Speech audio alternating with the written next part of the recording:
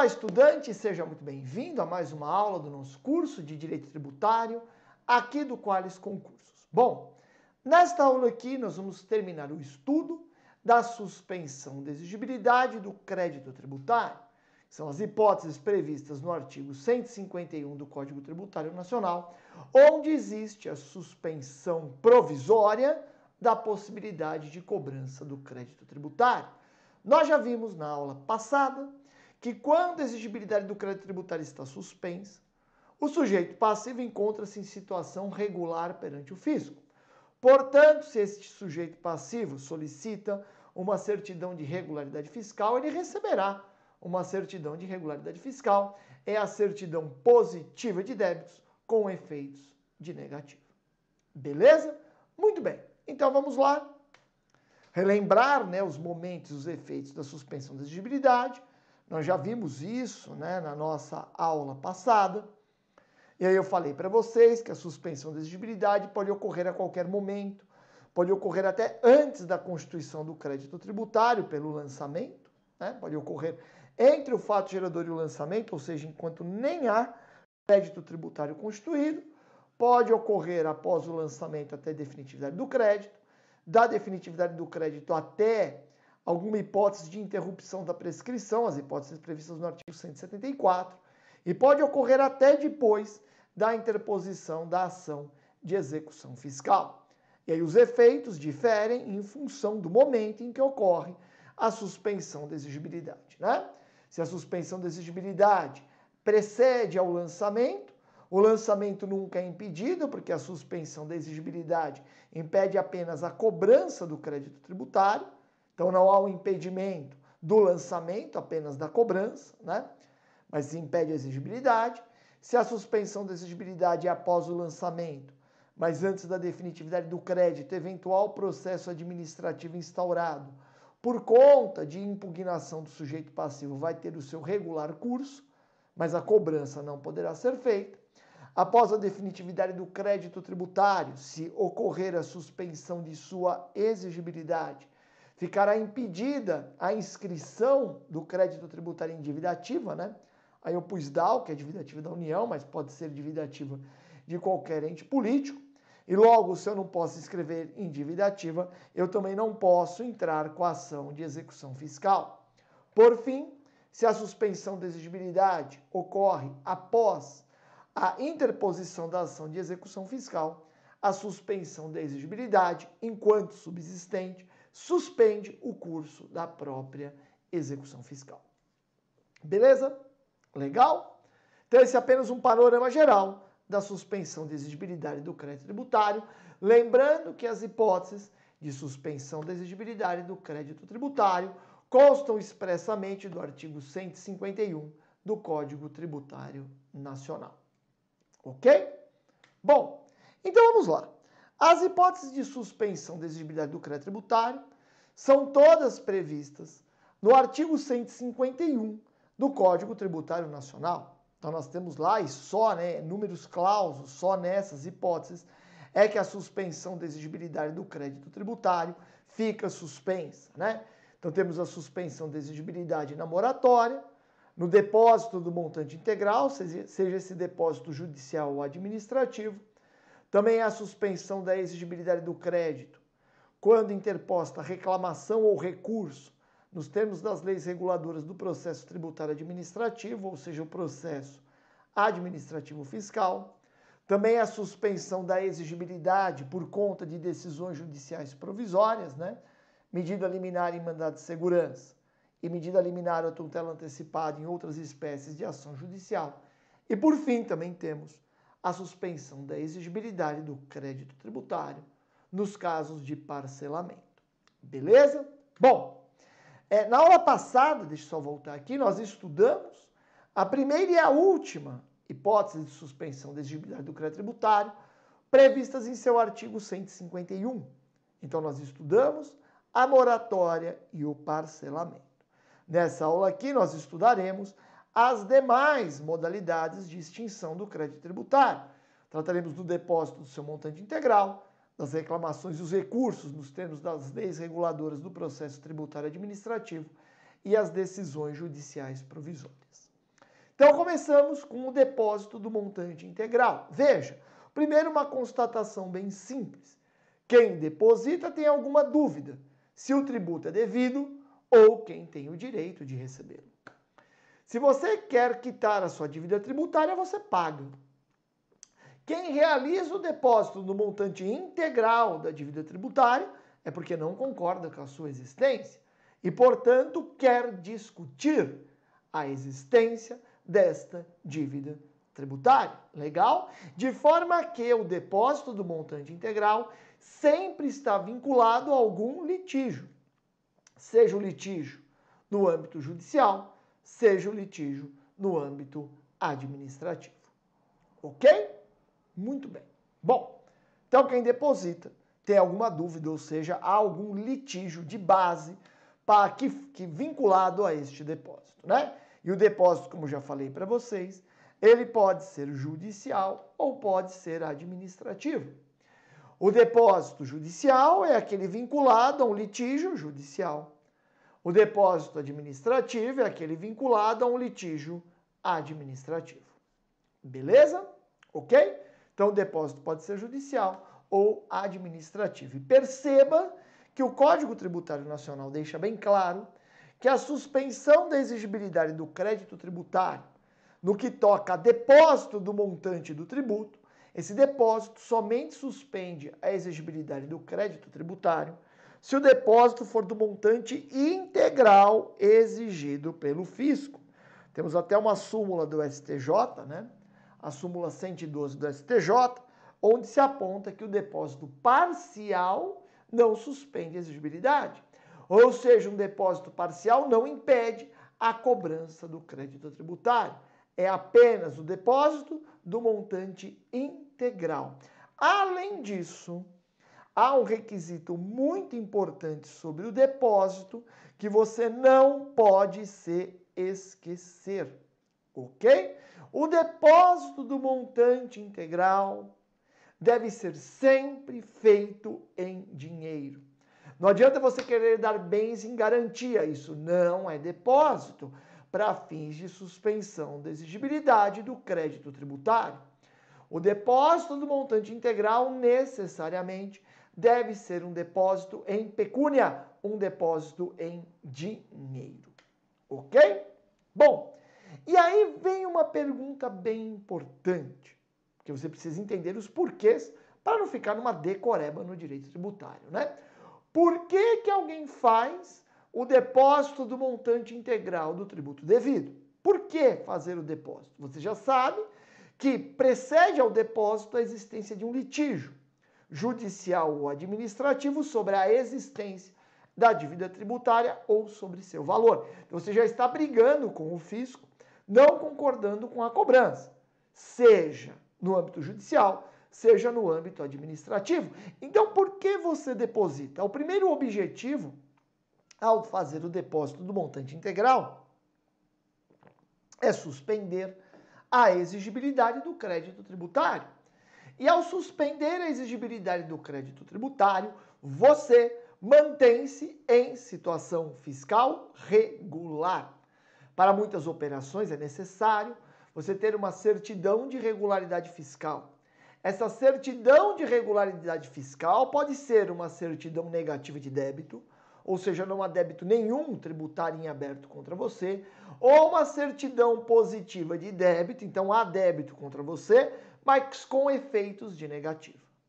Quando o crédito tributário está com sua exigibilidade suspensa, se você pedir uma certidão de regularidade fiscal, você receberá uma certidão positiva de débitos com efeitos de negativo, ok?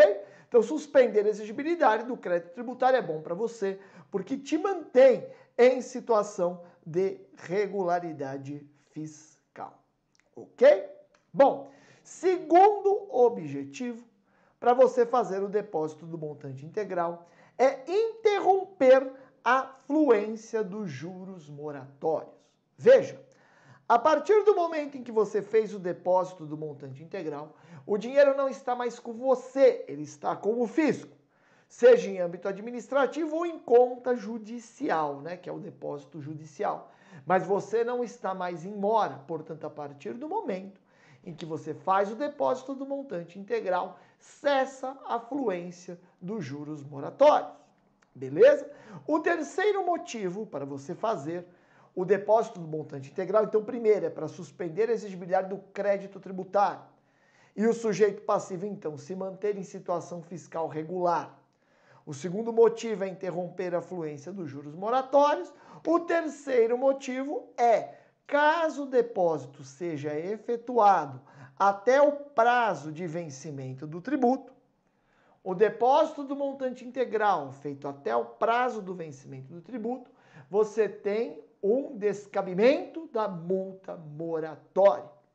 Porque se no prazo de vencimento você fez o depósito, é como se você tivesse, entre aspas, pago, pois o dinheiro já está com o fisco. Então, se você fizer o depósito do montante integral no prazo de pagamento, você fica desobrigado de eventual multa moratória, caso você perca o litígio e o seu depósito seja convertido em renda para o Estado. Beleza? Esses são os três fundamentos, os três motivos, né? Para que seja feito o depósito do montante integral. Bom, aí é um ponto importante. Tributo está depositado, é necessário fazer o lançamento? É necessário constituir o crédito tributário? E aí, assim, ó, pelo Código Tributário Nacional, o depósito do montante integral apenas suspende a exigibilidade do crédito. Não dispensa sua constituição. Então, caso a suspensão da exigibilidade, no caso do depósito do montante integral, preceda a confecção do lançamento, né? Aquele primeiro período entre o fato gerador e o lançamento, o lançamento continua obrigatório nos termos do Código Tributário Nacional. Ocorre que muitas vezes, quando o tributo está depositado, o fisco acaba dormindo no ponto, esquece de fazer o lançamento, porque já tem um litígio né, com o contribuinte. Então o fisco discute no litígio, mas muitas vezes esquecia de fazer o lançamento. E alguns contribuintes, de forma meio malandra, quando passava o prazo para o lançamento, chegavam lá para o juiz, notadamente para o juiz, eram depósitos judiciais, e falavam: Ó, oh, juiz, eu quero pegar o depósito de volta. Aí o juiz falava: Mas espera aí, eu não julguei o litígio, não sei se você tem razão. Aí o contribuinte falava, não importa mais, porque decaiu o direito do fisco constituir o crédito tributário pelo lançamento. Se decaiu o direito do fisco, o valor depositado tem que voltar para mim. Entendeu? Dizendo que o crédito teria sido extinto, eventual crédito, caso existente, teria sido extinto por decadência. Para não devolver esse dinheiro, né? Nessas situações, o Poder Judiciário começou a dizer que quando o contribuinte faz o depósito do montante integral, o contribuinte age da mesma forma que quem confessa a dívida tributária. São os mesmos atos. Você tem que ver os fatos que você praticou, conhecer a lei, aplicar a lei aos fatos, descobrir o valor do tributo devido, só que em vez de pagar, você discute.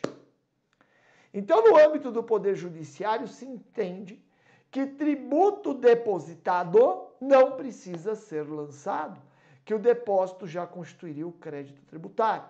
Chama sua atenção que houve um projeto de lei para prestigiar essa interpretação da STJ e dizer que tributo depositado não precisava ser lançado. Contudo, esse projeto de lei não passou no Congresso Nacional. Então, por hora, continuamos tendo essa dicotomia. Pela literalidade da lei, um tributo depositado tem que ser lançado. Pela jurisprudência, não precisa ok? Pela jurisprudência, o lançamento não precisa ser feito quando houve o depósito do montante integral do tributo. Muito bem.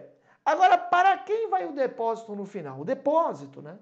Ele é uma medida, você faz o depósito, ele é vinculado a um litígio.